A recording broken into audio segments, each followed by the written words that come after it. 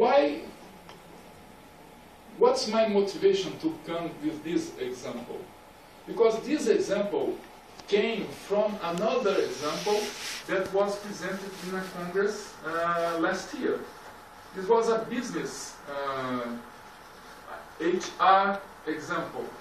So we have employees, and the employees they are getting older, and they, you have three types of employees. This was a situation in Brazil, and this the situation is a public company, and this public company has these employees uh, entering as a trainees. And as the time passes by, they can, after the training, they become uh, common workers and then a masters. Okay, but I can use this model to, to be applied to marketing and I can put other parameters and use this. So we have consumers instead of employees. I have.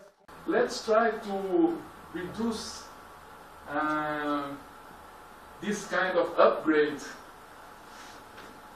We can give more time for them. So you have a campaign and you can get um, 27 weeks and we try it again and let's see if the graphics will be the same. Of course, in the first part is going, they are going to be the same, almost the same. But after this, you can have uh, some expectations of, uh, of the graphics here. So you have the blue ones and the yellow ones, they are getting together and they are very, very poor. Uh, you have less consumers at the end. If you got this at the first part of the campaign, of your campaign, so you get some kind of uh, information.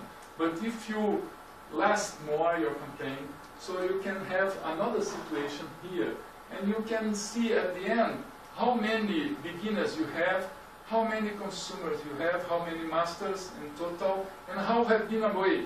I didn't tell you, but you, this model considers the, the possibility of traveling. So you, you, have, you are a consumer of a product, you have to travel to another country, you don't buy this for three weeks, you are out, when you come again, so it's considered. It's a kind of uh, situation that uh, helps students to understand and to build, because they can have access to the code. And they can put other agents, they can interact, they can create rules, and they can understand this better. And I can tell you, it's not so difficult as it seems, okay? Um, you, I try to give you some uh, understanding about the agents, interaction between agents, how the agent-based modeling can be applied to uh, marketing, and uh, I suppose if you want to use NetLogo, we have lots of videos. I put in this website, I made a, I have a website, and uh, I will give you the website. Uh, I put on the website the if you look for wiki and my name you will find the authentic learning the, the first page there and you have lots of uh, models you have videos in YouTube if you put NetLogo tutorial you will see lots of uh, tutorials and uses NetLogo can be used in a collaborative way.